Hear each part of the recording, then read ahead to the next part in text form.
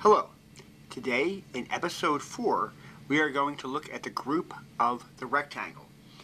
Uh, there are not many molecules that are specifically rectangular shaped, but a very important class of molecules that are rectangularly shaped are the substituted ethylenes. So with ethylene, we see that we have a C double bond C in the center, uh, and in the same plane, in this particular case, we have ethylene, each of the four green dots would be a hydrogen atom. This particular molecule has a point group symmetry which we call D2H. And we'll show in a second to prove that it has a D2 rotation. So we can set up our model and we put our eraser there and we can put our molecules on top and put our pin in there. There we go. So as you recall, finding the high order rotation axis is one of the important things we want to do for any new molecule that we meet. So let's see if we can rotate by 180 degrees. Let's see if we can do that. Now if we rotate by 180 degrees, we are lined up exactly as we were before. Now, one thing to keep in mind is the letter C looks a little different, but we're using C to represent a carbon atom, which would be shaped like a circle. So we would not see one side or the other of a C if we turn a carbon atom around. In reality, it's so small that we consider it to be a perfect sphere or a point. So the important thing is the orange dots, the hydrogens in this particular case, which line up with each other after we do a C2 operation. And we see again, if we do another C2 operation, that again, the substituents, the green dots, all line up, which shows that this particular molecule has a C2 operation as a member of the group.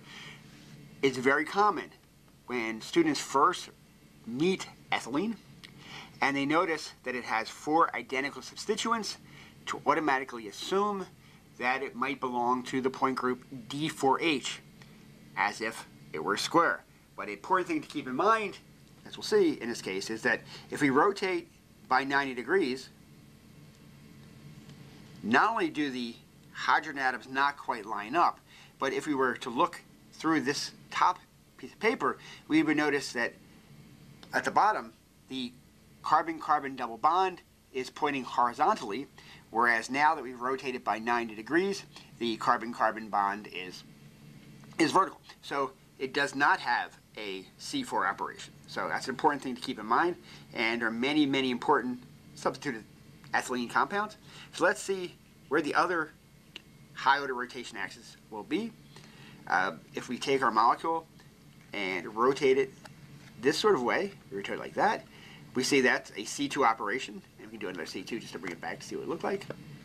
And we see that in each case, if we do this particular C2 rotation, that the green dots will line up with each other. So it says that going along this way, we have a C2 axis, just as we have a C2 axis coming out perpendicular normal to the paper. We also have one more C2 axis, which is along the carbon-carbon double bond. So again, going to rotate it this way, and we see that the hydrogens are exactly where they were before, and we do it one more time, and we get back to where we started from. So we see that it has a number of C2s. The high order rotation axis is the C2, and by convention, it's considered to come out of the paper towards you. Uh, the, there are also two C2s that are perpendicular to that particular high order rotation axis, which makes this a D group. So one of the C2s comes this way, the other C2 comes that way, and our high order rotation axis C2, which we sometimes call C2Z, uh, because it's we define the Z axis to be the high order rotation axis in most cases. Now it also has some other important symmetry operations.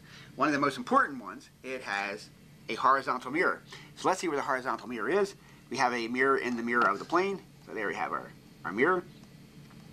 And in this case, it really is a horizontal mirror because the mirror is perpendicular to the high order rotation axis.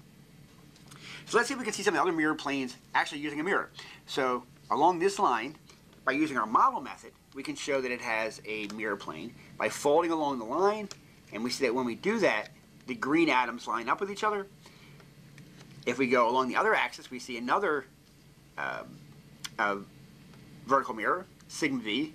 We fold along this way, and we can see that they line up exactly. So that tells us that we have two mirror planes. But let's see if we can actually use a mirror to show that we have a mirror plane. And that's what I'm going to try to do here. So the mirror plane would be along there. Ah, we can actually see it. So we put the mirror plane there, I can see the second half of the molecule reflected in it.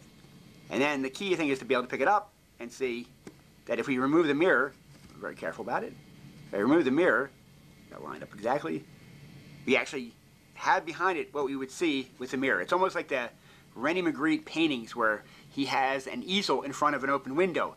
And what you see on the painting is exactly what you would see, you would have seen, if the easel were not there and you had directly looked through the mirror. So um, I highly recommend the art of René Magritte and any of the other surrealists if you're a chemist or a, uh, or a scientist. So we can see that one particular uh, vertical mirror there. And let's see if we can find the other one. You can use the other one by using a mirror. So here, by lining up the mirror, we can actually see the reflection of the molecule in the mirror.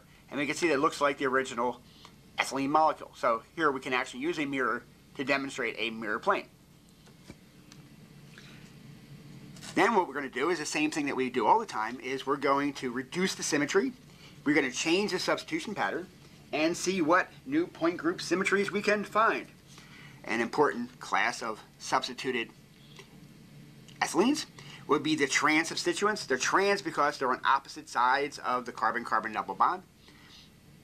So let's see what the point group symmetry of this one, and this is a point group which is virtually guaranteed to stump students. This one is one of the ones they have the most difficulty with. So let's see, again, we always want to find the high order rotation axis. That's kind of our first plane of attack in every case. So let's put our pin in there and see if we have a high order rotation axis that's perpendicular to the plane of the molecule. So let's rotate by 180 degrees counterclockwise. There we go. Rotate, rotate, rotate. And we see that if we rotate by uh, 180 degrees, our C2 operation, that the substituents line up perfectly. So this tells us that we have a C2 operation as a operation of the group. Now, there's also a mirror plane in the plane of the molecule. So we have a mirror plane going between here. And that is our horizontal mirror in this case. So this is a molecule that has a new point group called C2H. And the, part of the reason why it's confusing is there's an assumption that this must have other mirror planes other than the horizontal mirror. But it doesn't, and we can show that pretty quickly. If we fold the molecule in half along the, uh, the line that we had done before, to see if there's a mirror plane this way, we see that when we fold over, orange goes to green and green goes to orange. So there's not a mirror plane along this axis. There is not one there. So let's try along the other main axis, the axis of the carbon-carbon double bond. So again, we line it up, and we see that they don't line up. Orange goes to green, green goes to orange.